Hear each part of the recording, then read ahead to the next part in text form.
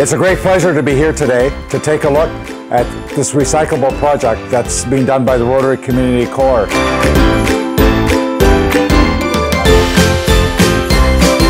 If you take a look at some of the work that they've done, this is all from recyclables, mostly from bottles.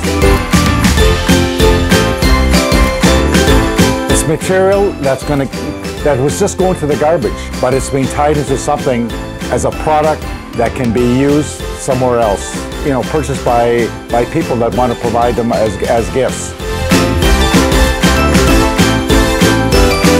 So I think it's fantastic that the, the senior citizens have the opportunity to do some active work putting together these products that can be sold.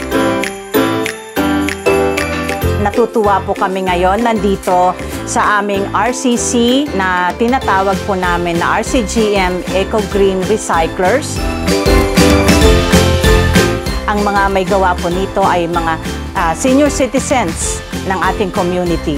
At ito po ay isa sa kanilang mga nagawa mula sa sako ng bigas, tarpaulins,